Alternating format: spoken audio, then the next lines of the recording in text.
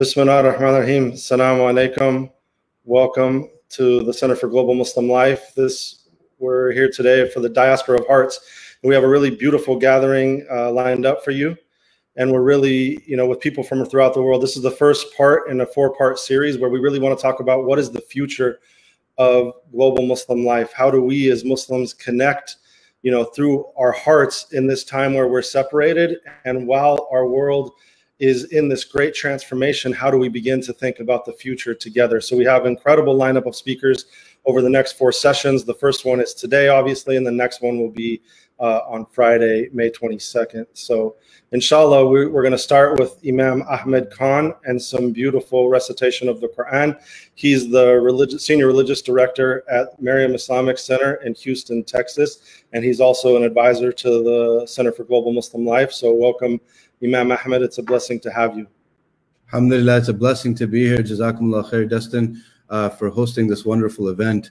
Um, and it's really uh, a blessing of Allah subhanahu wa ta'ala that during these difficult times, we're able to, you know, connect the hearts even greater than before. Um, and I like to say this quite often that, you know, before the, the, the, the doors of the masajid were open, but our hearts were not connected.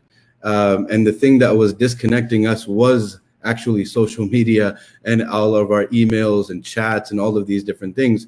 And now that the doors of the masajid are closed, in reality, the, human family has actually come together. And I, really do feel that our, our, hearts have come closer together and they have gotten connected uh, at a deeper level to God, right? Um, and we see this happening all over our social media platforms with all of our scholars connecting with each other, all of the different communities connecting with each other. Um, and this is why I chose uh, to recite um, a very well-known verse from uh, Surah Al-Hujurat, um, you know, it, it's known as as the verse of knowing, right? Uh, to get to know one another. Um, so inshallah, I'm going to begin with that, um, and then I'm going to just spend a couple of minutes explaining why I really chose this verse, inshallah. أعوذ بالله من الشيطان الرجيم بسم الله الرحمن الرحيم يا أيها الناس إنا خلقناكم من ذكر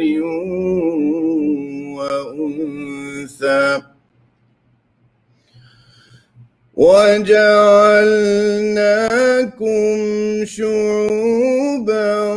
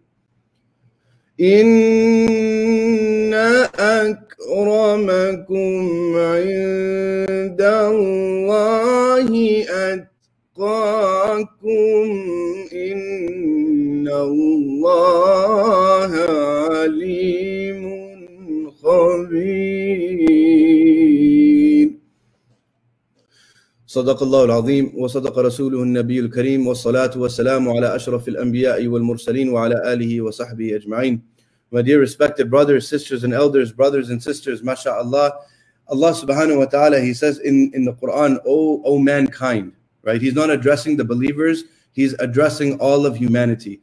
He says that we have created you from a male and a female. and we have placed you in different tribes and nations for the sole purpose of getting to know one another. And Allah subhanahu wa ta'ala, He says something very beautiful. He says, No one is more noble than the one who is closest to God. Now, a lot of times in our society, whether from a racial perspective or a societal perspective, we we put you know human beings in different categories.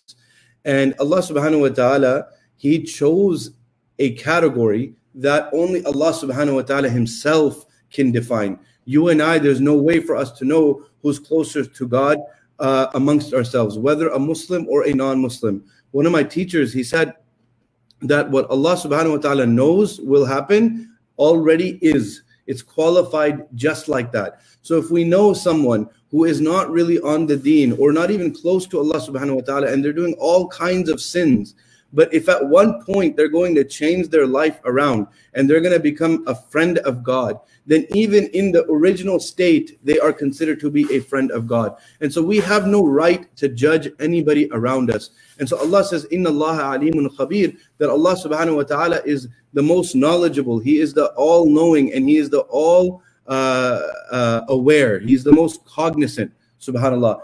And so a lot of times when we look at you know the muslim ummah or the ummah in general all across the world we begin to uh, compartmentalize ourselves. And so this initiative here mashallah is such a beautiful initiative started by uh, a dear friend of mine dustin craun um, you know the center of, uh, uh of muslim global life right? Um, this is this is really something integral. We have to really begin to start looking at what is islam right? And what does it really bring to the table of humanity and how does it elevate society? And with that, inshallah, I know that we have a wonderful talk scheduled about connecting the diaspora of heart. And so with that, inshallah, I, uh, I, I, I, yield it back to uh, Dustin, inshallah. Jazakallah khair, brother. And uh, so, yeah, next we want to show you a short film about our work and and how we're really connecting hearts around around the world, inshallah, and what our and what our vision is. We've come from so many places on this earth, but our lives share a common destiny as we walk together.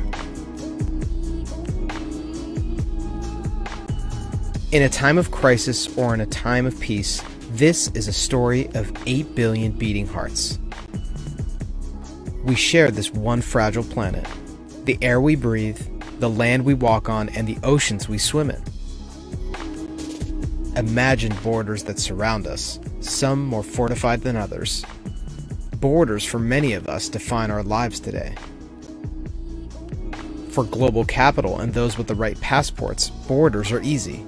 For the global masses, these borders tell us where we can and cannot go, for the world's 2 billion Muslims, one out of every four people on this earth, our lives are interconnected by the diaspora of our hearts, of our families, and a spiritual lineage that stretches back 14 centuries.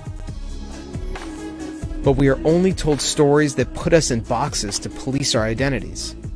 What if the full story was told about our faith, about our lives, about our cultures? The story of our love for humanity, and our stories as protectors of the world. This is for the future builders, the dreamers, those who want to escape from the futility of generations past destroying our shared world. Media has been built to divide us. We ask, what if it was built to connect? This is a manifesto written across screens. We need you. Beyond languages, beyond cultures, beyond faiths, beyond all barriers and borders, we need each other. This is for all of us.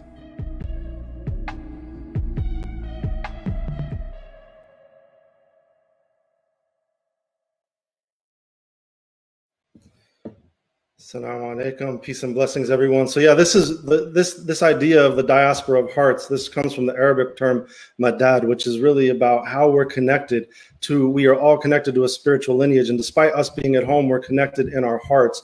And so this is what we're really trying to build with our amazing programming uh, around the around the world, and and with the research that we're doing. And over this month, we've we've launched uh, a, a number of programs, right? Because over the next over the next 50 years, Muslims will actually go from one quarter of humanity to one third of humanity. So it's really time that we as people stop being reactionary and start thinking about what is the what is our vision for the future. And I think that the difficulty of the moment that we're in is that is that there's a lot of pain, of course, and there's a lot of great suffering that, that, we're in the midst of. But we have to understand that our world is in such a crisis that we that we're going to reach a moment where we have to create a new world potentially.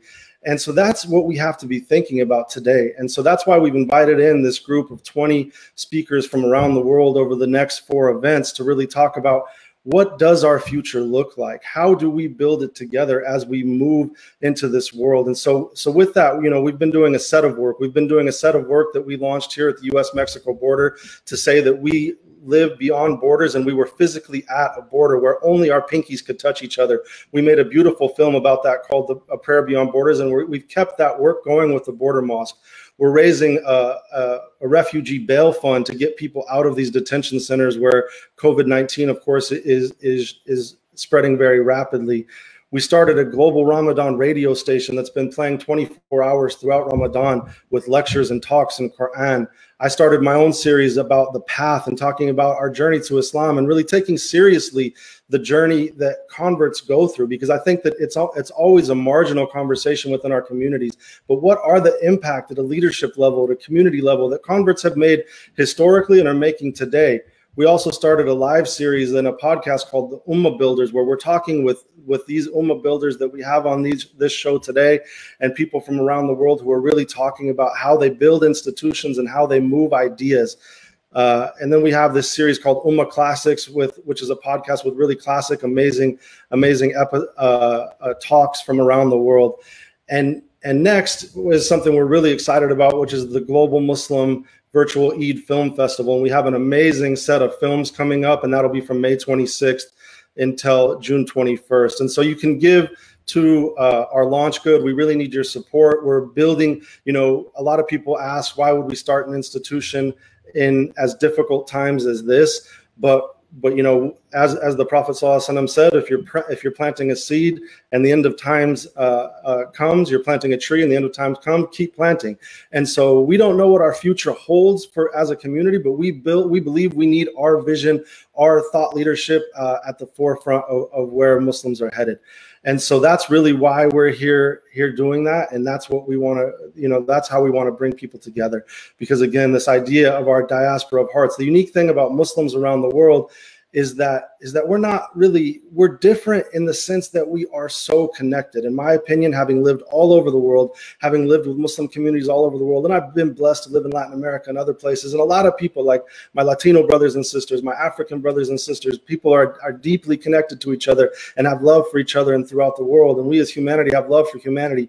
But the muslim community has deep love for each other. We don't live our lives based on nation state lines. We don't live our lives based on the false dichotomy that we've been placed in in the last 20 years in the midst of war on terror that we're just American Muslims or we're just British Muslims or we're just Malaysian Muslims or, or Singaporean Muslims, right? Each of these governments have tried to tell us who we are and how to keep within our borders for the sake of nationalism. But we know that our ideas, our, our films, our media content, it moves beyond borders because we love each other deeply and we have a great love for humanity. And we need people in this time, brothers and sisters, who love humanity and want to transform our world. And so, with that, next we bring in a brother who is transforming the world and who is doing really incredible work at the at the Islamic Center of NYU, Imam Khalid Latif is uh, is the cha- is a chaplain there and the founder and executive director of the Islamic Center at NYU. They've had some of the most incredible Ramadan programming with like 10 programs a day during this month. And so with that, we turn it to Imam Khalid Latif. Assalamu alaikum. Yeah, thank you. Yeah, thank you all so much. Uh, good morning. Uh, Bismillah. Bismillah, alhamdulillah, wassalatu wassalam ala rasulillah. I appreciate the invitation to share space with you all. Uh, and I look forward to, God willing, the time where we can actually be in each other's physical presence. And I think it's important for us to recognize and understand that despite physical separation, uh, we don't have to yield to spiritual disconnectedness. But where we come from diverse and distinct backgrounds, individuals who might not have a uniformity of shared externals, but can be people who come together on principle and a uniformity of shared internals, regardless of who it is that we were born to or what part of the world that we come from, where and how spirituality, faith, race, class, ethnicity factor into our identities, to understand that there is no ideology, there is no way of life that owns values like love, compassion, mercy, justice. To understand that where I'm at in New no York City, the there is last weeks have been quite difficult to say the least. And I appreciate you all who have joined in today to take moments in the course of your own reflective periods uh, to send prayers and good vibes to the people of New York. Or in my own community at the Islamic Center at New York University, uh, we've had individuals who have either lost loved ones themselves or they themselves have passed, uh, approaching now about 75 people, let alone how many people have fallen ill. Uh, and in comparison to the city at large, there's so much that's there that's taking place. But what I would encourage you all to do in these moments of social distancing, especially through a blessed convening like this, where the unique effort and bond that shows us what can connect us by the example of the border church and the border mosque and bring that into your social isolation and distancing so that rather than it being simply aloneness, it becomes a moment of solitude. And you start to take examples from everything that is happening around you because difficulties like this, things like we see that are taking place at the border, things that we see in terms of conflict, uh, abandonment of equity in places around the world and cities around the United States and elsewhere those difficulties in and of themselves create deep opportunity and opening for us to see what it is that they intend to reveal to us. And at least where I'm in in New York City, we've had a lot of revelations from this difficulty, both of things that stem from the immediate and things that have been deeply entrenched on a systemic and structural level since our country had founded itself centuries ago. There's revelations of real beauty and real goodness within the actions, the demeanor, the faith that I can't describe as anything other than real faith that brings doctors, nurses, residents to get up every day yet again to meet this virus full force, despite what it does to put their own lives at risk. But their sole purpose in the epitome of selflessness to just be there to help others because it's the right thing to do. That in my own community, we've lost four doctors who contracted corona while they were serving patients, hoping to be a source of healing. You see essential workers who are performing tasks of delivery workers, postal workers, grocery store staff, pharmacists, messengers, individuals who are forgotten but they are doing what they could do, many in large part because they have no choice but to work because of the need for the wealth. But in our day today, it also helps us to not have simple disruptions to our daily routines.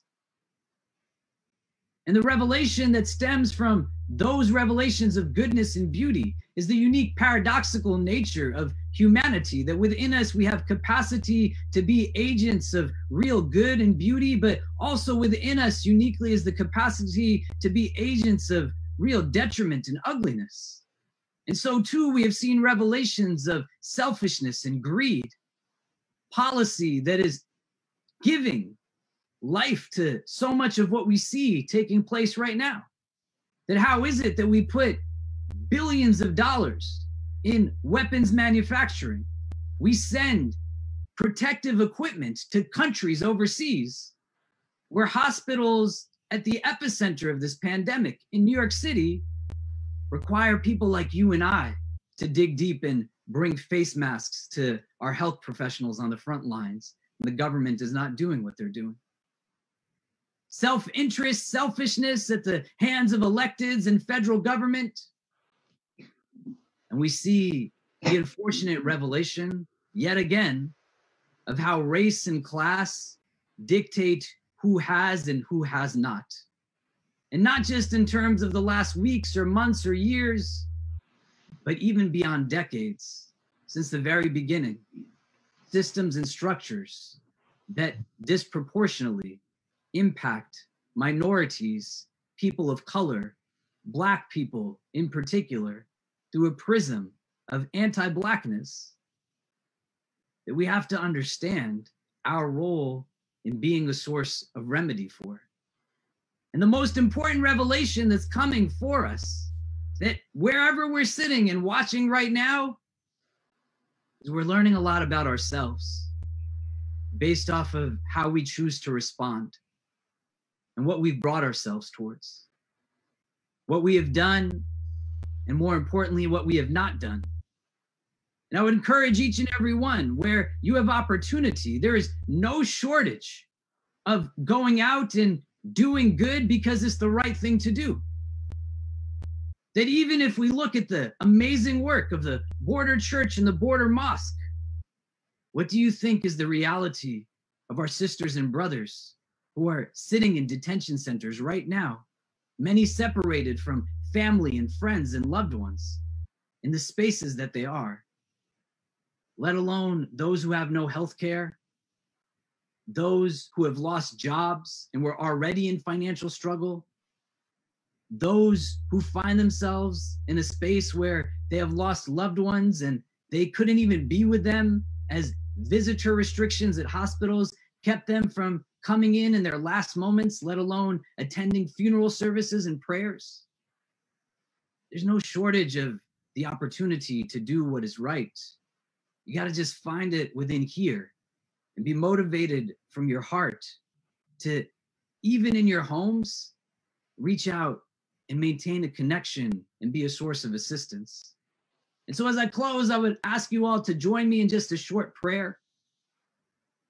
And whether you are joining as a person of faith or someone who does not adhere to a specific faith tradition, to allow for the moment to be one where our collective gains from each individual's presence to be devoid of distraction and to understand that you are exactly where it is that you're supposed to be and where we can yield from the unique blessing that is the one year anniversary of these two amazing groups of people and institutions coming together to do such important work. And we take that and we pour our hearts into a moment of reflection to say that what comes ahead, we will continue to meet it together in the best of ways. But if you can join me in a short prayer as I conclude and allow for us to come together in that spiritual connectedness despite our physical separations. Almighty God, giver of life and guider of hearts, Bless this gathering and all those who are in it. We have come today as sisters and brothers of all backgrounds to pay homage and remember all those who are impacted by difficulty, inequity, injustice, and hardship of any kind. Shower upon them and us your infinite mercy, and grant all of us only the best in this world and the best in the next. For all those who are facing any type of distress, Send upon them and all of us your divine peace. Guide the footsteps of our sisters and brothers afflicted by trial and tribulation at this moment, and deepen us in our trust, love, and care for them and each other so that we might come together to help them at this time. Send them only those who will be their helpers and supporters, and protect them from any further affliction, anxiety, ailment, or anguish. Open their hearts to receive all of the love that we are sending them on this day and envelop them in your divine love always. Grant them peace, relax their fears, and remove from them any impediment that keeps them from doing all that they are able to do. The burdens of life sometimes seem too heavy to bear. The anxiety and anguish that sits inside of us feels bigger at times than the world around us. We seem to be surrounded by a darkness that's impenetrable. Today, we ask you, for the sake of all those who need us to be better than our best, to give us courage. Our struggles are real, but your promise is true. Indeed, with hardship, there always comes ease. Remove from our hearts any fears or inhibitions and replace them with an ever increasing boldness to live each moment as best as we can. Fill our hearts with a fire of your love and a desire for nothing less than justice for all. Make us the conveyors of truth, the purveyors of truth, the couriers, the carriers, the upholders of truth. Let us not be swayed by false fulfillment, but make us from amongst those who taste true contentment. Let us never be those who a strong fear of loss in this world or hope of gaining some portion of it keeps us from speaking out and hearing the truth that we yearn for. Keep us from being silent when others lie, and help us to never lie to ourselves consciously or unconsciously. The difficulties and hardships of the days that surround us create deep opportunities for revelations of all kinds. It has shown us the potential for greed and selfishness that exists amongst those whose interest is only self interest. It has shown us the beauty and courage of those who stand day in and day out at the front lines against it. It has shown us inequity in its ugliest of forms and how race and class still dictate who has and who has not. And it has shown us who we are based off of our responses to everything it has revealed. Help us to find meaning in these revelations, whether they are revelations of comfort or discomfort. Put strength into our voices and grant us the courage to express our feelings, to love, to let those that we love know how valuable they are to us to seek forgiveness from those that we have wronged, and to exert mercy towards those who have wronged us. Help us to see this world always through hearts that are drawn towards goodness, to silence fear and abolish anxiety, to overpower indifference and break away from greed, to eliminate arrogance and defeat racism, to be bold enough to ask of you to make us those who only do that which is good. Help us to never fear the path of truth for the lack of people walking on it, and bless us with leaders to follow who walk firmly upon it. Thank you for our sisters and brothers at the border mosque and the border church. Help us to take from their example. Let our unity be not tied to uniformity of the external, but instead make us people of all colors in our uniformity based off of a uniformity of values and hearts. Remove from our hearts any negative thoughts of others and help us to never partake in acts of injustice against people of any background. Even if no one else speaks, help us to always speak against any oppression, even if it is against ourselves. When we look back to these days of social isolation, make us those who look back with full assurance, knowing we did everything we could in our capacity to help others and did not leave anything behind where people are passing away and many more are falling ill, where so many have lost jobs and have no means for rent, food, clothing, or anything at all, where government has failed and children's schools have become distribution centers, where hotels and dormitories have become hospitals and operating rooms, where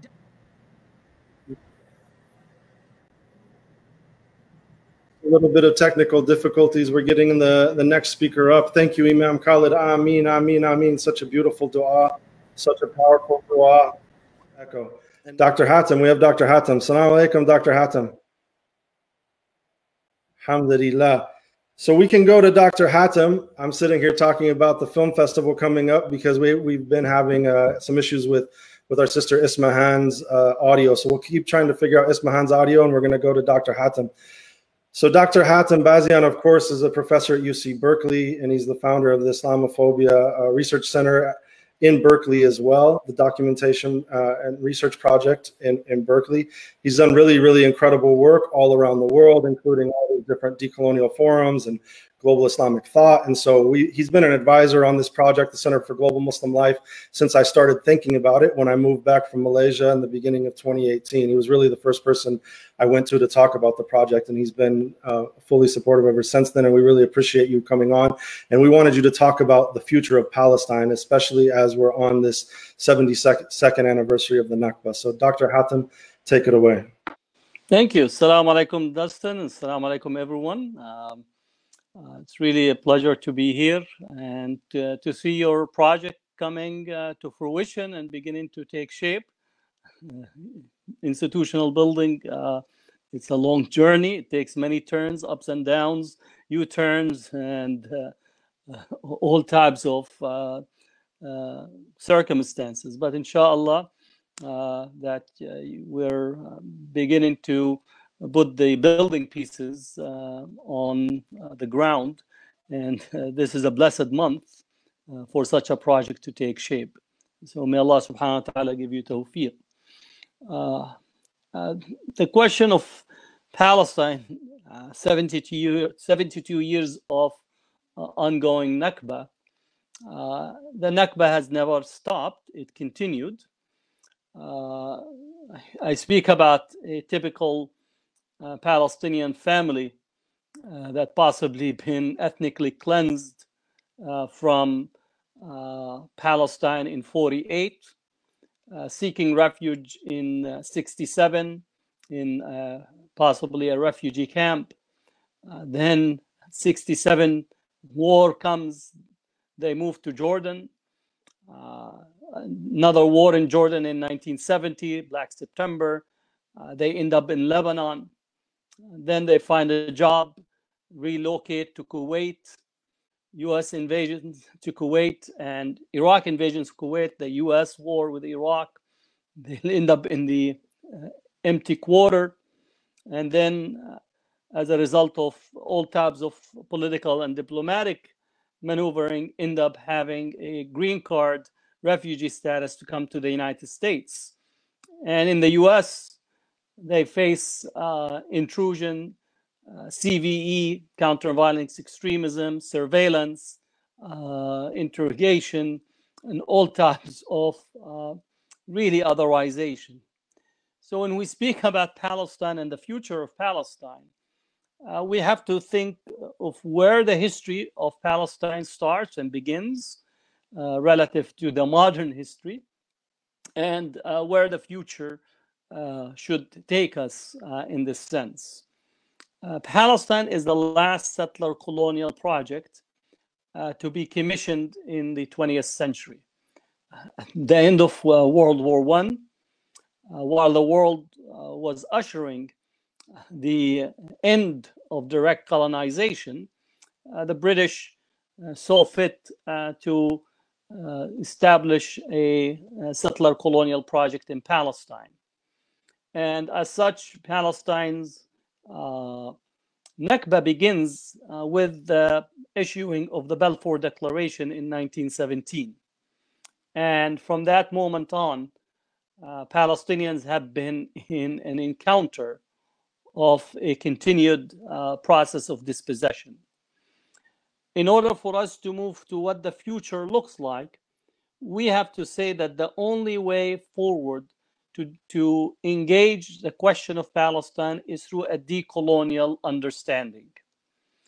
Any other understanding, the notion of uh, the two-state solution that was put forth, which is it was itself uh, a Zionist idea uh, in the 1930s, uh, to think of a two-state solution that is uh, thought of within a scope of demographics and scope of uh, controlling and setting up Bantustans for the Palestinians uh, is a non-starter. So the starting point for any type of work and engagement of Palestine for the future uh, is on the on the foundation of a decolonial uh, understanding. Second, the key issue of Palestine as we speak uh, is the right of return of uh, the Palestinian refugees. Uh, we still have the majority of Palestinians that have been evicted from Palestine uh, are living in refugee camps, refugee camps in the West Bank itself. 90% uh, of the Palestinians in Gaza are refugees that were expelled from their homes, lands, and properties. Uh, there's refugees in Jordan, uh, there's refugees in Lebanon, in uh, Syria, and then a scattering of the surrounding Arab countries. Then you speak of the uh, Palestinians that are in the Western world, uh, also in the Southern Hemisphere, in Latin America, large uh, Palestinian population in El Salvador, in Chile, in Argentina, and other places that has been a really uh, part of the expulsion that the Palestinians have uh, been experiencing since the Nakba. So the refugee and the right of return of the refugees to, to their lands, to their property, to their homes is the second part of thinking in uh, the future aspect uh, relative uh, to Palestine.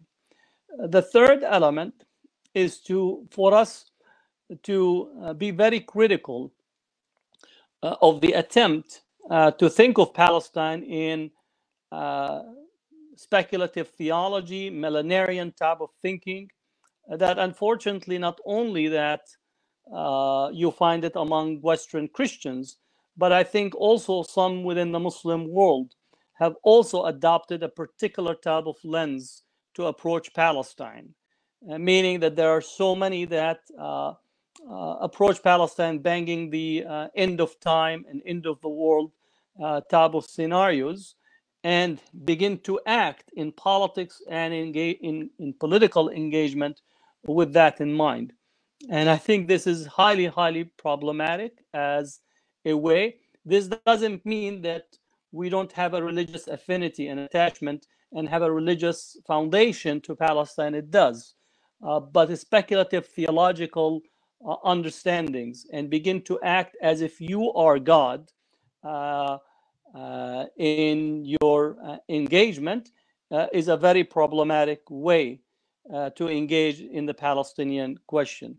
Uh, this gets into this whole notion of use of using uh, the interfaith space or what I call faith washing as a way to engage because it assumes or takes as a point of departure not a, a, a colonial structure and settler colonial, but see it only through the theological dimension and begin to think that only the religious text itself to act and engage it in a speculative way uh, is uh, the way to move forward. And I think that is very problematic. So, for both Muslims and our allies that are engaging in Palestine, we want your solidarity, but we're not accepting nor welcoming your speculative theological engagement, no matter what the speculative theological engagement that is taking place. We have deep faith and deep uh, trust and understanding of our Islamic engagement, but we also have to be very clear of where individuals are actually taking that they are God rather than trying to say understanding or interpreting or approaching it uh, in that way. So that's a third element uh, in there. And in this sense, also to uh, distinguish between the uh, uh, evangelical Christian right in the US and its partnership with uh, the right wing Zionist versus the Palestinian and the Arab Christian population. We tend to fail to recognize that the history of solidarity and collective work between uh, Palestinian Muslims, Christians, and uh, Christians of the Arab world uh, to oppose colonialism and to be in the forefront of challenging colonial structures. So, as we move forward, not to fall and to begin to understand that our narrative, how we engage, has to be an inclusive as well as a welcoming, and not to allow the divide and rule tactic that has been used uh, often uh, to rear its ugly head again. And this also can be applied in other areas. In particular, uh, I've been working in a, in a deliberate way to bring the Sunni and Shia Muslim community together uh, through an intra-faith uh, approach uh, because again, there are many that are attempting to instrumentalize Muslim sectarian understandings and division as a way of trying to push uh, divide and rule, both in the Muslim world, but also here in the West as well. So for me, those elements are very critical if you want to engage in Palestine to assert that our unity is the is the important critical piece uh, both unity within the Muslim community, but also unity within the broader uh, uh, uh Arab and Muslim world to engage in, issues relative to Palestine. But also, I work in solidarity with the Syrian, with the Yemenis, with the Somalis, Afghan, uh, the Uyghur, uh, the Rohingya, especially also the Muslims in India with what's taking place in Kashmir, um, the Muslims in uh, even in Africa, in Mozambique, and other places where they're facing challenges. So we have to be both local and transnational, and the Palestinians have always had an eye on the local and transnational. That's why it was natural for them to engage in the uh, anti-apartheid struggle and be connected to the ANC. It was very uh, critical for the Palestinians to be engaged with the solidarity movement with El Salvador uh, during the period of U U.S. intervention, and also uh, engaging in solidarity uh, across uh, even European with the Irish struggle and uh, in Spain and other places. So that's the dynamics relative to the future. I think continue to push on those four elements uh, that uh, I mentioned. Uh, on a positive end, I think the BDS movement has been very, very uh, important uh, element, and the success is a result of the large number of activists that have engaged on the BDS boycott, divestment, and sanction. And for anyone who's listening from the Muslim community, uh, one of the organization I lead, which is American Muslims for Palestine, we have been taking the lead in the date boycott. Uh, there's no reason for you to break your fast uh, in Ramadan by buying dates that are uh, coming from Israeli settlers and settlements and from Israel. So we need to make sure that you access to see which brands that are uh, Israeli products, and especially in Muslim uh, space, Muslim grocery stores, and places that we don't allow ourselves to, in essence, be breaking our religious uh, uh, dedication in Ramadan by actually biting on something that is coming from an apartheid uh, state. So those are my thoughts that I wanted to put in circulation for you, and hopefully that would be what at least get the conversation going. Hey, Dr. Hatem. Uh, it's really beautiful uh, to have you. It's a blessing to have you. And I think that Palestine and Palestine, Palestinian solidarity around the world is a great example of the diaspora of our hearts and how our hearts are connected and the struggle is connected. Everywhere I've lived in the world, everywhere I've traveled in the world, whether it's in Malaysia and Indonesia, even in you know Mexico and Morocco and in Ghana, there's Palestinian flags and free Palestine flags everywhere. And so, so we as a Ummah pray and we as a people pray for for the, the freedom of Palestinian people and uh, transformation situation, inshallah. Jazakallah. So next, Assalamu alaikum. Rahmatullah. And so next we're going to go to Sister Sister Ismahan Abdulahi, uh, who we tried to get to earlier. She's the but but now we're blessed to to have her sound fixed. She's the director of national director of MAS PACE. It's a real honor to have you. If you could talk about what a future uh, beyond bands looks like from your eyes. Yeah, جزاكم الله خير أعوذ بالله من الشيطان الرجيم. بسم الله الرحمن الرحيم. Such an honor for me to join you all. Uh, subhanallah before i start my um, talk or just short reminder, I really want to ground us and I really want to lift up um, uh, our dear scholar, our dear brother Hatem Bazian.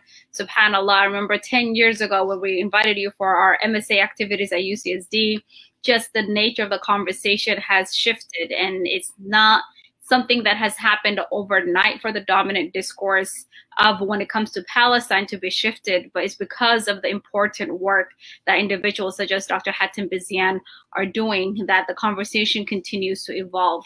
Um, subhanAllah. So I really want us to ground ourselves in understanding that here in America, we must understand that we're living in a country that was built on the backs of stolen people and on the backs of stolen land. So we talk about putting forth bans or immigration policies that are meant to keep out certain individuals or certain faith groups or certain ethnicities, we have to ground ourselves in that understanding of how the United States came into being, um, subhanAllah, as a country. And when you recognize that for the longest time, that the individuals who have uh, have been burdened with the brunt of the policies of hate, the policies of xenophobia, the policies of Islamophobia have been our black and brown communities, have been communities that have been the forefront of having their children being torn from them their bodies used, subhanAllah, misused and practiced on for medicine, um, and really thinking about what have we put a ban on. The Muslim ban, as we understand, is this ban that came on the backs of so many other hateful policies that were meant to keep out folks that are not considered to be white, that are not considered to be privileged. I mean, subhanAllah, when this COVID pandemic broke out, and there was that short European ban that was put into place by this by this administration, a lot of the images that were used were masjids in Turkey. And these are mainstream media, right? Um, which leads us to a larger conversation about uh, Islamophobia in general. But what I really want to touch upon is our across the nation, people of conscience have been waking up and recognizing this dilemma of understanding how can we build towards a future that is just a future that is virtuous a future that has no borders that has no ban where we're really seeing human beings for who they are in a dignified way and how the continuous fear mongering the continuous xenophobia islamophobia and racist rhetoric um, is detrimental not only to the communities that is directed at, but also the future of this nation especially when it comes to the refugee and Muslim bans, whom a lot of the recent uh, uh, have targeted. So when I was studying the civil rights movement back in 1960s, um, the civil rights movement in the 1960s, I used to ask myself if I lived during those times, would I sit on the sidelines or would I be out there marching for justice? So in this future that we're envisioning, this better world that more just and more equitable, my question to my fellow uh, brothers and sisters all over the world and everywhere has always been simple. Will you use your voice? Will you use the blessings that Allah subhanahu wa ta'ala has given us to rise to the moment, to rise to the occasion, and demand and fight for justice on a local, a national, and a global level. Because the reality is, what this pandemic has showed us is how interconnected our world is and how global we are. That when we talk about freedom and justice in one specific area, whether that be Palestine or in the streets of Southeast San Diego, or subhanallah what recently has has happened in georgia with the shooting of our dear brother ahmaud arbery what we're talking about is a human race that's connected where one part of the world feels pain it impacts everybody and we know that we're operating in this system of white supremacy that continues to profit and has capitalism as its knight in shining armor to kind of continue to maintain uh, the status quo as is. So I want to leave you with a quote, and please, Dustin, let me know if, if I'm short on time. I want to leave you with a quote. Arundhati Roy, an activist whom I respect a lot, has said this quote, and ever since I read it, it just really hit me different um, subhanallah. She said i can um, i can another world is on its way. And on a quiet day i can hear her breathing. Recognize that the future that we are working towards the future of understanding that justice and equity are norms and not just terminology um, that is that is safe for specific folks within our community that despite the elements of darkness around us in the times that we are living in, our communities are resilient. They have been resilient. The fight for justice and equity will always continue. And that despite the, the, the struggles that we face, despite the pains that is inflicted in our communities, the children that are caged, um, subhanAllah, and just the continuous disenfranchisement and marginalization of, of our communities, that there is that better day coming. But the fight that we're engaged in is a marathon and it's not a sprint. So I invite you to really envision this better world where we continue to stay connected, where Allah subhanahu wa ta'ala told us that subhanallah he raises as the best nation for mankind because we enjoin that which is good and forbid that which is evil. Um subhanallah. So taking that commandment allah Azza wa has given us to really work together coalesce together continue to uplift the very core values and principles that connect us as His human beings and also more intimately connect us as believers to envision that better world that is connected and lifting up the very people that we have been um, subhanallah kind of expected to overlook to build a better world together inshallah so i invite you all to that um, and constantly think about what role are you going to play in a lot of the other speakers mashallah they touched up on beautiful beautiful sub- subjects but i always want to direct it back towards you. When the prophet ﷺ was commanded ya ayyuhal muzammil like subhanallah all you who's wrapped up in cloaks uh, get up to pray for most of the night he was also commanded, Ya ayyuhal mudaththir qum fa'andir, or you who's enveloped in cloaks, get up and warn. So it is our duty as Muslims to really think about how and what role are we playing to usher in this better world. Because for some of us, it might be a privilege to take a step back. But for some of us, this means life and death for our very communities, for our very families, for our individuals. For me personally, I'm in this fight and I am deeply invested in building a better world. I'm deeply invested on uh, bringing on good trouble, as I call it. it, is because I know that my life, my family's life, and the lives of so many people whom I love, whether I know them, whether I don't know them, is at stake and is on the line. Um, so, subhanAllah, I'm inviting you to think about, you know, when you talk about the global Muslim world, when you talk about the ways that we're different, uh, that, that we're connected, come back to this core point of how Allah subhanahu wa ta'ala has commanded us to be those vicegerents on this earth, to be those individuals when corruption and uh, has spread through the land and the sea, that we are the best of nations to ever have been raised from mankind because we enjoin that which is good and forbid that which is evil. So jazakumullah khairan.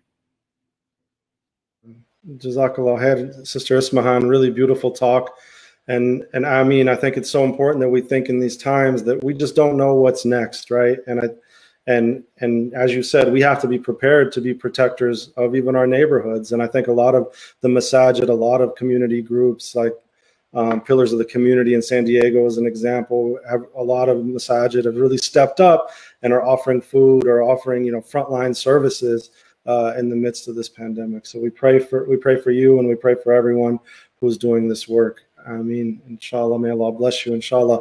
Next, we're going to, to our sister, Maryam Kashani, who's one of the founders of the Believers Bailout.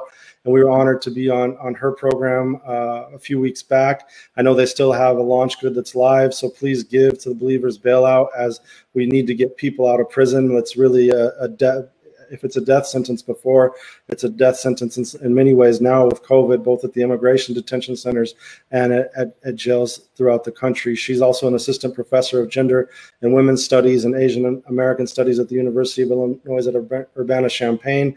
And you know, she this sister really inspired me, Sister Maryam. I knew her at my time at, at Zaytuna College, and at that time she was studying the college and doing her, her dissertation and making a film, and it helped me connect dots in my mind of, oh wow, I, can, I don't have to just be an academic. I can also do film work, and I can also um, you know do media work and really think about how we tell stories in, in many different ways. So multi-talented, Maryam Kashani, we turn it to you. Assalamu alaikum. Alaikum assalam. Thank you. Um, it was a little embarrassing. Um, so I'm going to take these out because I'm hearing an echo.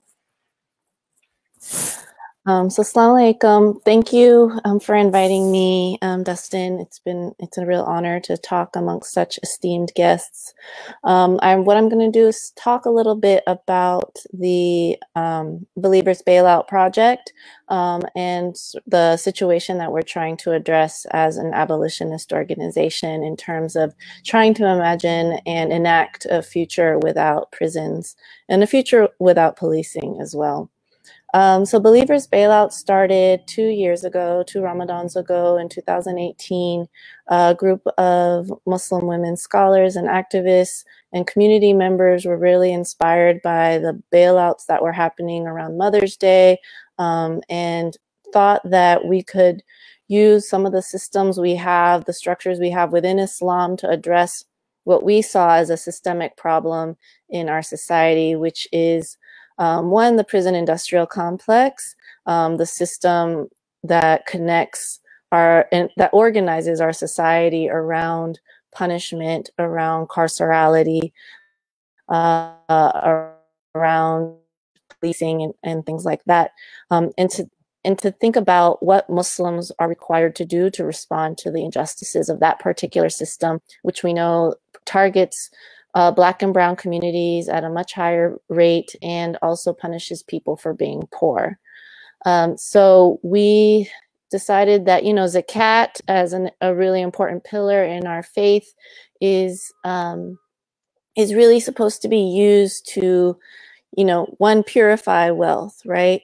Um, but then also to really restore the vulnerable in our community so that they can be self-sufficient and self-sustaining.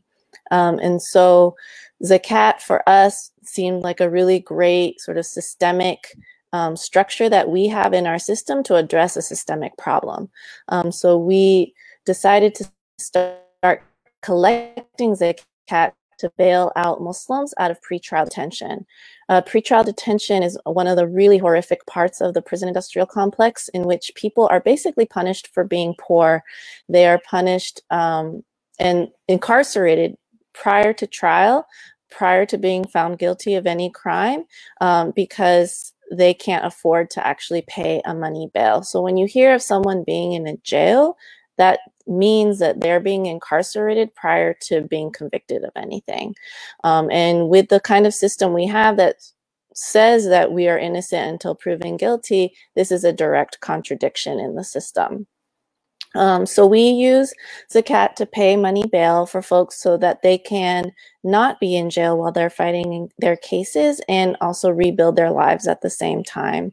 Um, we have been paying bails for folks who have spent multiple years in jail trying to fight their cases. Um, contrary to what you will see on television, um, trials take a long time. They can take many months, they can take years. And the system is actually built so that people will plead guilty whether or not they've committed a crime um, because the system actually can't sustain putting everybody on trial. Um, and so, of course, as you could imagine, it is poor people who are most often punished um, for being poor and incarcerated prior to um, their trials. Um, and when we first started this, we were really excited because we actually received a lot more donations than we ever thought that the com community would offer. And it was also at the time um, when the Trump administration was really targeting immig Im immigrants, um, in particular through detention. Um, and so we started using our funds also to bail out Muslims who are in immigration detention. Um, so that is work we've been doing. We've bailed out 38 uh, Muslims from immigration detention and pretrial incarceration in these last two years. We've spent about $300,000 um, in bails. Um, this year, we are currently fundraising to bail more people out. We have spent all the money we have raised in Zakat. Um, we currently have two cases we're considering in immigration detention and two cases we're considering um, here in Chicago and Cook County Jail.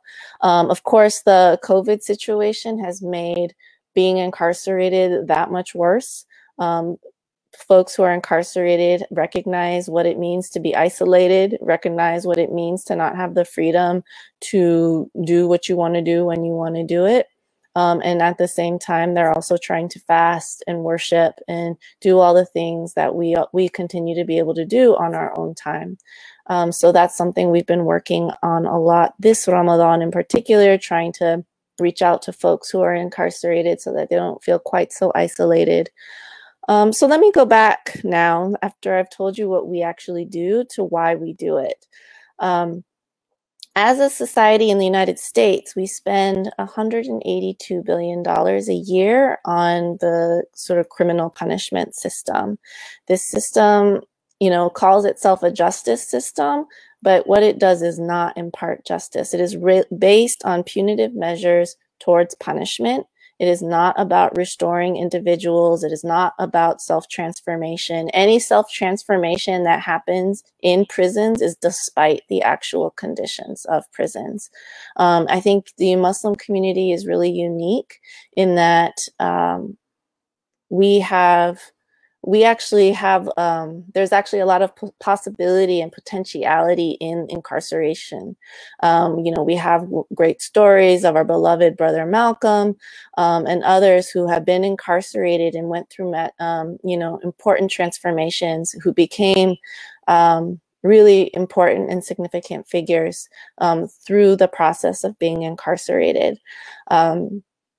And so at the same time that we want to undo this system of incarceration, we also recognize that Islam does a particular work in jails and prisons for self transformation.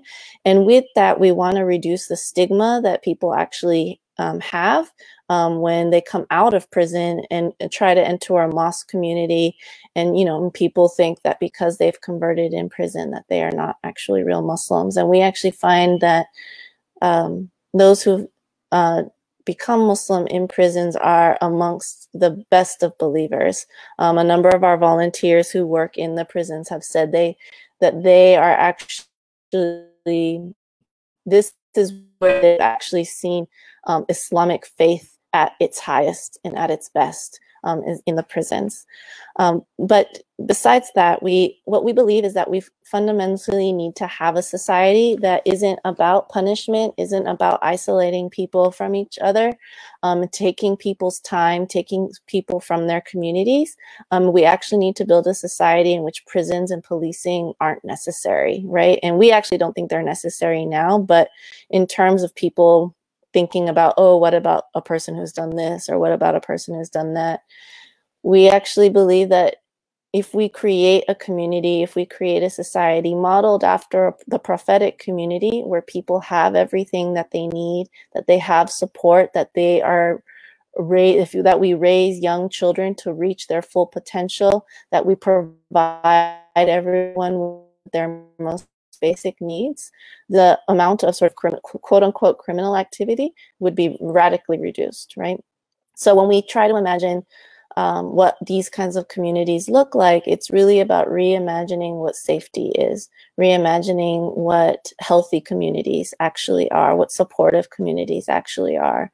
This means that we actually take care of each other, that we don't outsource care to um, the state, right, which we often tend to do and that the state could be better utilized to provide for us on in a way that isn't penalizing, right? That isn't about protecting the most wealthy, uh, protecting the most powerful um, at the expense of those who are the most vulnerable. Um, and Dustin, tell me what my time is like. Okay, cool. Um, you know, and I think when we think about who our society uh, criminalizes, who our society incarcerates, it tends to be those who do not have power, right, in our society. When we think about um, who's actually in prison, right, do we do we know that the people who are the most powerful, who have um, who have crushed those with less power, who have stolen from those with less power, are those the people who end up in prison? No. Um, when people come out of prison, are they reformed? Are they better? Are they given access to resources so that they can actually rebuild their lives? Are they not penalized for having records? Um, this is something our society does not do. If you come out, um, if you have a felony record in our society, if you have a criminal past, you are not given the second chances that supposedly the system is supposed to give. If you have a felony, you have a harder time finding a job. You have a harder time getting educated. It's much harder to get scholarships. Most often than not, you're not eligible for those kinds of things. For housing, there are a lot of places people with felony records aren't able to live. Um, you know, and if we want to imagine a society where everyone has a chance to flourish, um, where everyone feels safe and feels healthy and feels secure. Um, prisons and police have not been the answer to these um, situations. Um, and oftentimes, when we speak about being abolitionists, when we think, speak about wanting to imagine a world without prisons and policing, people are like, can you justify why you think that way? And we never ask the criminal punishment system to justify itself, right? It has become normalized in our thinking that this is something that we need, that prisons and policing are natural, right? That they are part of human order and the way we should organize our societies. And that's just simply not the case, right? Much, Maryam, and we wanted to, you know, announce today also that that inshallah we're going to be joining with the the believers bailout to with the work that we've been doing around the border mosque to help raise more funds through the border mosque for a, re, a refugee and immigrant focused um, bail fund as well. And so we're going to be doing that here in these last few days of ramadan. But we feel like it's really important because we we literally I, I, get texts i receive calls. Ismahan tells me the same. Sister ramla from pana tells me the same. People doing this work nationally. You know there's a really amazing organization here called al and i'll give you a good example. They tweeted last night that they were thrilled to report that they had won a bond for a client who had been detained at at, Alantro for six months, which is a there's all these different detention centers here near the border. Our client came from Pakistan to visit his brother on a valid travel visa. This is someone traveling on a travel visa, which could happen to any Muslims who have family internationally who come to visit them, which is a lot of people. The Border Patrol canceled his visa on arrival because they didn't believe his stated reason for coming to the United States. They held him in a, in a cold, sterile waiting room for hours before questioning him and threatening to immediately deport him. When airport CBP threatened him with deportation back to Pakistan, he expressed how scared he was to go back, and so he was transferred to the detention center. They were able to win that case, but now there's a $10,000 bond to get him out, right? And the thing with Muslims in these detention centers, Muslims, Sikhs, Hindus, people of different faith, is they're also treated differently than Christians are. Oftentimes, they're not given access to their text, they're not given access um, to to any of the, their religious rights, maybe an inability to pray.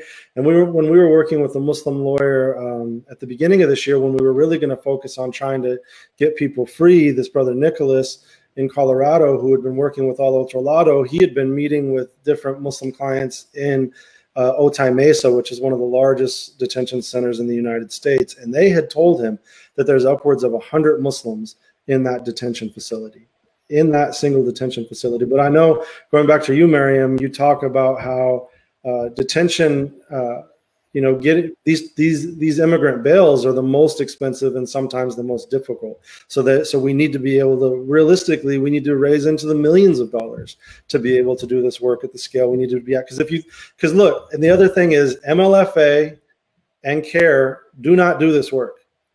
They don't right? They don't do work in detention centers. And so can you talk more about that and the need that uh, of what you've seen so far with this Absolutely. I mean, one of the things that actually really shocked us is that we were bailing out actual abolitionists. We've bailed out a number of brothers in particular from Mauritania, um, which supposedly abolished slavery um, a couple decades ago, was one of the last countries to do so, but hasn't been enforcing um, those rules. And so we had people who were seeking asylum in the United States because they were actually fighting like contemporary slavery in Mauritania. Um, and so this was something for us that was really important to get the word out about, right? That um, I think you know and i think this goes back to also thinking about who are we now as muslims in the united states that we can see that putting people in cages is actually a solution to any social problem that we have right? Like how can we you know how have we become like other americans who can like stand by and not pay attention to the fact that we're putting children in cages or we're putting men and women in cages that we're separating people from their families. Like in what world is that actually a solution to any problem right? And so i think we need to check our own humanity right? Um, to think about how we can think how we can kind of continue our everyday lives and not be enraged and act on this issue right? You know i think it's it's a real dissonance that we deal with on our everyday levels that we're seeing and hearing these stories and that we also have to move on with our everyday lives you know in some way to in, you know to manage our own senses of security and ability to sustain ourselves and our families. But at a certain point we also have to really stop and think about what are we doing as a community right? Like i'm not going to fight someone who wants to build a mosque in their community, but could we think about what a couple million dollars would do towards freeing people, right? The Quran actually asks us multiple times to free a captive, to feed a captive, right? Um, wayfarers, those who are traveling. We know people who are traveling are vulnerable, right? This Pakistani brother is a key example, right, of someone who needs a Muslim community to reach out and support him, right? And I think a lot of the media around um, sort of the dehumanization of who people are at the borders, who people are are in our prisons, right? It really goes a long way to dehumanizing us, right? To not see that this is profoundly unjust and that we are actually obligated to respond in these situations, right? Um, and you know, for us, it's also a real conundrum of how do we not only bail people out, but actually stop this system, right? So we could keep raising, you know, millions and millions of dollars and keep, you know, bailing folks out, but uh, in the end, we actually, what we need to be doing is while we do that work, and really, and this is how we approach money bail. Like, we don't want to be paying money, like, we don't want believers bailout to last for decades. We actually want to to make a world in which we are no longer necessary, right? That and actually in Illinois, there are all these efforts to end money bond now right? But at the same time, we don't want it to be replaced with a system that still maintains a certain level of injustice, that still maintains an unequal justice system for those who are poor, those who are racialized and criminalized, and those who are wealthy and powerful, right?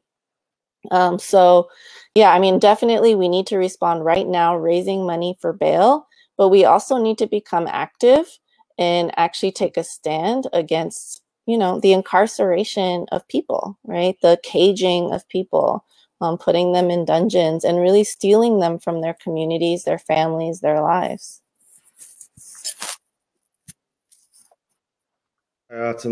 In the in the Quran talk about if you to save a person as if you saved all of humanity, and here literally is opportunities, because don't tell me any other system where someone who is imprisoned or someone especially especially people seeking asylum as well people coming from throughout the world many cases problems that the united states has created like the drug wars throughout latin america which are foundationally an american problem based on our own drug consumption this is an opportunity to save people's lives because they're fleeing for their lives. In many cases family members have been killed. You know whole communities have been have been destroyed because of what of what these wars have done or or obviously the wars in Syria and throughout the world that we see. And yet we you know people are discarded muslims are banned. And then we we why should we be surprised that blessings would be taken away or that these great these types of difficulties would enter into our world like we see right now um, you know so allah save us inshallah so Jazakallah. Her sister, Sister Maryam. I don't know if you have. So yeah, you can you give can you tell everyone where to go to to give to to Believers Bailout? We have a launchgood.com campaign. So it's launchgood.com uh, backslash BBO 2020. Um, you can also just search for believers, and we're one of the first ones that comes up. Um, and then also check out our website, believersbailout.org. And then our social media team has been on fire this year. And so we're on Instagram, Facebook, Twitter. Um, so we're very easy to find. You just have to come look for us. All right. Thank you so much for joining us and see you see you soon, inshallah. Assalamu alaikum.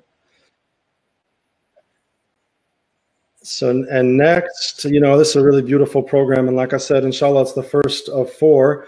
And unfortunately, some of our, our super global friends couldn't make it today because the issue with trying to do global programming are time zones. Uh, and, and the fact that people are like, yo, I'm trying to break my fast. or I just went to bed at 2 a.m. and you want me to wake up in a few hours, like Peter Gold from Australia, who was supposed to be with us today. But, um, but last but certainly not least, is our is our brother who was who who who was who was global and now he's local, so local that he's in a, his his sheltering in place in San Francisco. Mokhtar Alkhanshali uh, is an entrepreneur. I knew him when he was a community organizer, so I'll always say that he's he's still a community organizer. He's the founder of Port of Mokha. uh, and just a global good builder. He's one of, alhamdulillah, my best friends, and you know, one of my former roommates. So always got to keep it real uh, when you when you when you see your friends and when you're speaking to your friends this way as well. So, so yeah, Mokhtar, we wanted you to talk about really the the the future of of Yemen. Talk about the future of of coffee, right? In a moment where distribution channels are going to become very are becoming difficult where food is becoming difficult i think there's so much that you could talk to us about so so go ahead and take it away how are you how are you doing it's scary a lot of my friends who have coffee shops uh, a lot of my friends who have restaurants and small businesses it's tough times because you know most of us are just going month to month no one has these kind of deep pockets to have that much cash reserve and so the reality looks pretty bleak at that. I don't think this is going to be uh, resolved anytime soon. You know, maybe in a couple of months, things might start to ease up and open up, but we're not going to be shaking hands for a pretty long time. And uh, I think from a business side, uh, there's probably going to be a lot of consolidation. A lot of these giant conglomerates who have the deep pockets are going to survive, and you know the small mom and pops you know, we're not, it's going to be very hard for us. That doesn't mean that there isn't any hope. I think that the ones that are going to survive, like for instance, in my situation in coffee, coffee for many people is a vital good. You know, most people like myself, I can't survive without having my cup of coffee in the morning. Probably when I get up almost every morning. And so the the the demand is not changing, but the route coffee takes to get to people that is starting to change and going definitely more digital. And so I think this there's going to be a few companies, the ones that are agile, the ones that make that pivot, that pivot, are going to be able to survive. Uh, and I, you know, I hope to be one of those companies myself. And so it's interesting seeing that aspect of it. Um, and I don't know, it's just uh, I'm just trying my best. What I do a lot is I have these different WhatsApp groups, right? So I have WhatsApp groups with my farmers and other producers in different countries. So from a producer perspectives, my friends from Kenya, from Rwanda, uh, Ethiopia, I just got off the phone just just minutes ago with uh, in Colombia, and the reality is a lot of importers, a lot of roasters, because they can't supply to restaurants who are closed. They can't. People can't come to their stores because of quarantine. You have countries that are incomplete quarantine. You know, our roasters in Kuwait right now, for instance, they're on a, a 20 day shutdown. You can't leave your house even. You have, I think, 30 minutes a day just to go around your neighborhood, but no banks, no post offices. So it's pretty severe. So they're limiting the amount of coffee they're buying. And and and so that's an issue. My roaster friends in my WhatsApp groups, it does help to kind of co-commiserate and speak to them and understand what their struggles are there have been some like good news of companies that started to engage online through social media, doing online engagements, uh, and set up their company in a way where their coffee can be delivered through third-party apps, directly through them, curbside pickup, uh, and so some of them have actually noticed a spike in their sales uh, and have been able to kind of survive. I know for me, our B2B wholesale program is pretty much slow right now, but uh, we've been thinking we have a small e-commerce store and people are able to buy directly from us online and we can ship it to them. And so it's been really helpful to, to do that. Yeah, it's it's challenging, but uh, you know I think we should people of faith. We always have this sense of tawakkul, sense of you know we're just gonna. That's the thing about business too. It's it's a lot of you have a lot of a lot of tawakkul, and so we're trying to have that and balance that with tying our own camels your, you know, one of the, you said you have all these WhatsApp groups. How are your farmers doing in Yemen? You said something interesting to me when we talked, I think last weekend, where I said, man, is what's up with Yemen? How is, how is the quarantine there? And I think you said, well, Yemen's been on lockdown for six years, right? And so can you talk about how Yemen is doing, how your farmers are doing and, and, and what you see happening in Yemen? Yemen was one of the last countries. I think there were like six or seven countries that didn't get the virus, and Yemen was one of the last ones that that received. I think the first case was about a week and a half ago, and it's probably because we've been quarantined in a lot for like the last six years. It's our reality that the airports are shut down, and uh, there's no real way to go into the country. The very limited routes, and there was one flight that we, we would take from Egypt and so forth. Um, but now, unfortunately, the cases have have come out in Aden, even in one in Sana'a, Hadramaut, and it's from all the countries that are going through through this situation. Yemen could possibly be the most catastrophic. Um, there are many factors. Yemenis, for instance, we don't. I think the whole country has about 400 ventilators. That's it. Uh, uh, there are no there are no oxygen manufacturing companies or, or factories. Those are all been bombed. Um, and so there's just the infrastructure is it wasn't there before, and it's definitely not going to be able to be there for this. Our farmers, they you know they live in the rural areas in the faraway communities, away from the violence. But much of the infrastructure of the country has been destroyed: the roads, the bridges, uh, these factories, and so adding COVID nineteen into this equation is just you know I, I I try not to think about the negative aspects of it because it's very dark, and I'm trying to always you know push to something positive. I have to be honest with the reality of what's going on there. So inshallah, you know we pray that this virus is contained and that something can happen because I mean Yemen is in a situation where it's in a free fall, and this is just something that will it could possibly like ignite a, a horrible forest fire. Yeah, inshallah, Allah protect the people of Yemen, inshallah. But um, but did but isn't the war for the most part the war has at least stopped for the time being, correct? Not really, no, not at all. Um, I think they tell us months ago there was a, an, uh, I mean, they were going to they announced a truce on the on the Saudi side. The Saudi Arabian government announced the truce um, a few days later, uh, there was a rocket attack through Saudi border, a drone, attacks over to Saudi border, and Saudi Arabia retaliated, you know, very severely with airstrikes and bombing. About two days ago, actually, another airstrike, you know, killed and, and it was able, it actually um, bombed a humanitarian truck full with, you know, medical supplies uh, in an area called Al Bayda. Um, so these are still occurring. There's there's violence within Yemen, within different factions. The island of Socotra, last week there was uh, this militia, a general defected from the national army and tried to take over the island for another foreign government. And there was horrible clashes happening. And that was sad because Socotra, for the most part, this beautiful island off of Yemen has been away from any violence. And, and just, the situation is not great at all. So I, um, yeah, it's just, uh, it's a sad space. And so there are a few projects in Yemen. There are copies, you know, one example of a way that material support can be sent to people in Yemen. Um, and there are other, there are a few others, but Yemen right now, anyone, you know, we just, we need to start thinking of our, our paychecks.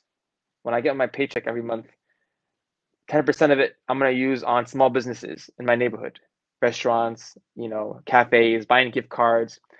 You know, this percent of it should go to um, supporting people in Yemen, uh, that's how I think about it. You know, I need to thought. You know, it's a, we're all going through a situation together, and because we don't work or live in a global society where people are treated more importantly than corporations, we cannot rely on governments to do this social um, support and safety net.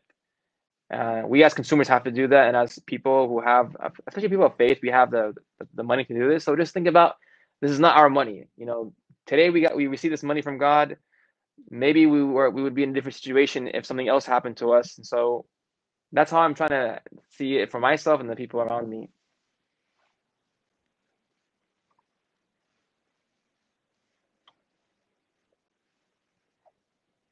Into community institutions, the reality is all we're going to be left with are corporations, right? So like Nestle slash Blue Bottle, these types of entities will survive but will all the local you know coffee shops survive? There's a right here there's a where i live in san in the part of san diego i live in there's a coffee shop where this guy has been manning his coffee shop this entire time by himself trying to stay open serve you know selling on on a point of sale on his app you know and just struggling but literally every day by himself no staff to stay open and that's the level of struggle that, that, that people are going through right now. I wanted to ask you one more thing before before we get off. Um, you know, more, you know, one of the, a lot of the things we're interested in, of course, you represent so much of it, global Muslim impact, um, you know, how we create change around the world, and then of course your narrative change and, and storytelling. And you were really blessed to be, you know, to, you had this amazing book written about you uh, with your life about written by Dave Eggers, and I was I was blessed to to be next to you in parts of that and to see it transform and then be changed into a book and to see what that process would look had looked like. And now, you know, we were living together the year the book came out, so I was able to see what that was like for you. You traveling around the world, mashallah, and, and really, you know, telling your story and telling the story of coffee in Yemen and the Muslim roots of coffee. But I don't think the conversation we haven't had is now you know, a year and a half later, how many languages has the book been translated into? What is the continued response uh, that you're getting from people around the world to your story and to and to what that the port the, the, the monk of Mokha has meant to people? It's really uh, it's still very much surreal for me. I never thought in my life I would ever have my story told this way and people would know about about the work I do or any work I that I do for that matter. In the beginning, you know, you, you know this. It was just a weird thing. I told the author, I didn't, I don't know what you would write about. I don't have interest in life, and I don't, I don't see the value in this. But it's been really wonderful seeing people's reactions. It's not easy putting yourself out there. You know, your your story is your most personal asset, and you need to be careful about who, who you give that to and I don't, you know, I, I look far from perfect. It's very, you know, there's embarrassing, there's hardships, and there's things that like I can't read the book now because there's certain parts of it that it's hard for me to relive and things I had to experience. But uh, for me, when I think the first event I did, I remember it was the first person who came to me who had read the book. It was actually the, the, the publishing house, the agent we have at Penguin Random House. And she said, I can't, I did not know coffee came from cherries and trees. And so I was like, wait, like, and this is a person who drinks coffee every day. Uh, and so when I look up the hashtags and people, you know, tag me and post, they read the book and they say things like, you know, I'm never gonna look at my cup of coffee the same way again. I can't believe there's so many hands involved in this one cup. Why isn't it a hundred dollars a cup? These are things that really like warm my heart that people finally realize like the actual cost of uh, this commodity, this coffee, this product that we don't take for granted every day so it was nice. It was amazing for me just to see people appreciate that cup of coffee, whether it comes from Kenya or Yemen or Indonesia. But to know, like, you know, the work that this barista does, this it's a crazy journey. It's a long journey. It crosses so many hardships to make its way to us. Um, and and also for me, Yemen is probably one of the most uh, misunderstood countries in the world. And in the West, people have a negative assumption towards Muslims, towards Arabs, and especially towards Yemen, if they know about Yemen. So to have people engage with uh, culture through a beverage, it's really powerful. It really opens that up for people. And then I think books are an incredible way to learn about other people. I myself, as a kid, I had a hard life, and growing up, it was not the best environment I lived in. I would run away from my reality through books. I loved Harry Potter. You know, I loved books that took me away from my life. And books, they do that. They let you live a different life, to experience a different, different uh, experience. And in many ways, people began to humanize us as Muslims, understand our struggles going through the airport. There are parts of my book that people, when they read, like, "Wow, I didn't know that you guys had to go through go through this, these these difficulties." As a Muslim, as an immigrant, you know, our parents come in this country and what they had to go through uh, and so there are different parts of the book. Uh, but at some point it, the, my intention went from it went from trying to humanize us to these other you know non-muslim other european folk to this is we are actually producing our own culture. And i felt that the, the the audience that i really connected with the most and really and the ones that were impacted for me the most were my own people young Muslims, young immigrants struggling, you know, and through poverty, struggling through class hardships, struggling through misunderstanding of them in their in their in their high schools and being bullied. You know, their parents and the division and the friction between them and their parents. People, millennials, trying to figure out their own path in life and what direction to take. And those are the ones that really like when I hear those messages, it really makes tears tears me up because I feel it felt like I feel like wow, this is like I didn't never expected that kind of connection with somebody, and that's why I think you know it, it helps the book. I don't look perfect in it, and people can engage. I don't know how many languages it's been translated into. I know it's a few, and you can go online and find them. But you know, readers in in Spain or in like uh, South Korea, Poland, Russia, Germany, Holland. It's just like a you know, an, an Arabic version just came out, and that was really I was really nervous because you know there's a lot of really embarrassing things about things I went through in life, and I never thought that my family, my people in Yemen, would eventually know these stories.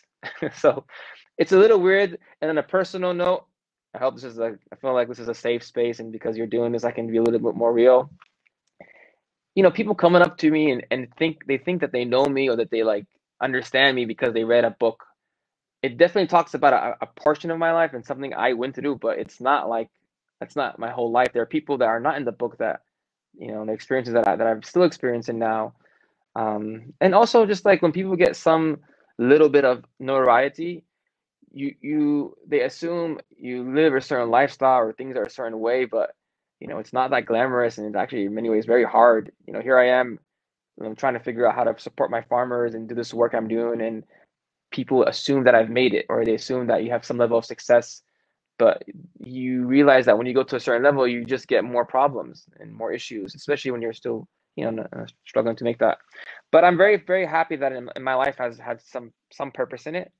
I'm happy that i found the calling that uh, i mean the, the thing is there's so many problems we have in our world today and i think everyone has the opportunity to find one problem to try to solve. Try to create an industry try to create a product or service to deal with an issue you have and I think com- companies that have founders who, um, I'll end with these last two points. Companies that have founders who who try to solve problems based on core like values, deep meaning with deep meaning. Those are the ones that are going to survive because you will face a lot of obstacles. If you have a drive that's more material and you just want to make money, you're going to face problems and it's not worth the money. But if you have a deeper meaning, a deeper intention behind what you do, it's it you it's worth more than the cost of materially. Like you know, there are points where what I do, I don't make enough money to cover certain things, but I feel that I like this life. I feel like I'm being used in a better purpose.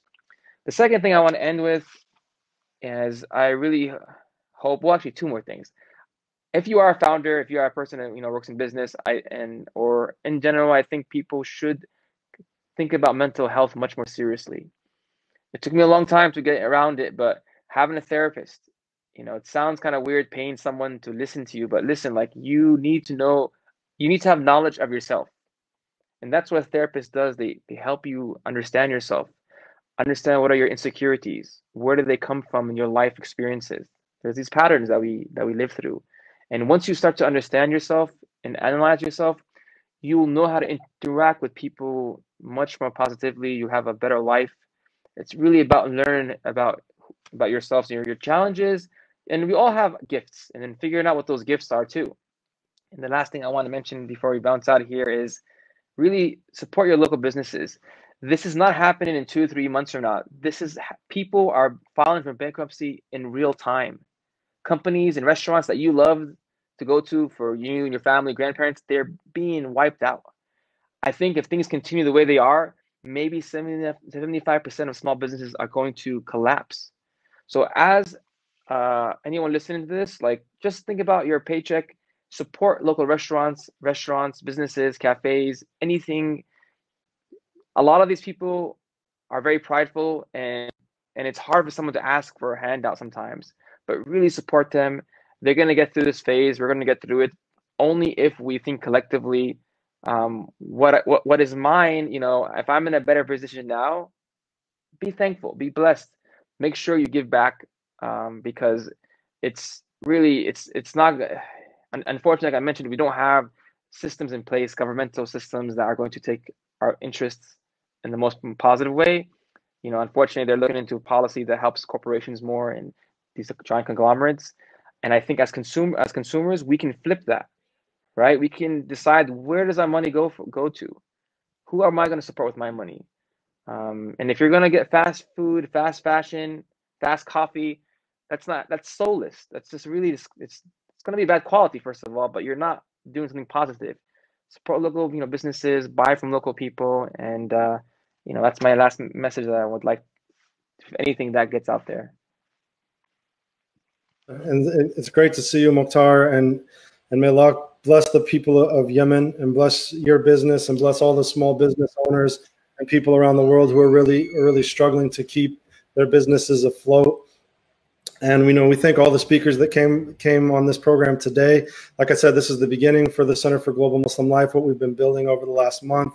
Um, you know, it's a continuation of the work that I've been doing over the last five years, but now with the Center of Global Muslim Life as a nonprofit, uh, California-based, globally oriented uh, nonprofit. And so you can give to us on our LaunchGood page, which is uh, launchgood.com backslash build global Muslim life. And yeah, and we ask everyone, we ask for Allah's blessing on everyone and protection for all of us. And Barakallah, do you have any, any closing du'as, Mokhtar? Right now for you, Dustin. I've known Dustin for a long time, and if I had to, to describe you, it's you're someone who cares about the global Muslim identity. Since I met you, that's been your your call, and you wanted to do something to help the greater Muslim community around the world globally, and you've been trying to do that through through the digital and technology experiences we have available around us. So if you're listening out there, this is his life's work. I believe in the work he does. Support if you can. Um, I think that you know there's a, there's a powerful thing about being with the word ummah. I remember from your first publication that you did ummah wide. You know, I had the honor of being interviewed on that, and it's this has all been a continuation of the same um, uh, journey that Dustin's been on. So I, am I'm really excited to see how things work out, and I know that the community listening on right now they're going to support. Uh, I will just you know end with uh, um, I ask Allah Subhanahu wa Taala, the merciful, the glorious, the magnificent, to bless us and to allow us to follow the truth and see the truth as it should be seen. I ask Allah subhanahu wa ta'ala to make us people of courage, to fight our own demons and the demons out there in the world we live in. I ask Allah subhanahu wa ta'ala to always allow us to be optimistic and to be optimistic of His bounty and His mercy. And ask Allah to ease the suffering of all those around us who are dealing with things economically, health wise, socially, whatever difficulties they may have. And I ask Allah subhanahu wa ta'ala to accept us, inshallah. I mean be back on Friday, May 22nd for the next program, and we hope to see you all there. Assalamu alaikum.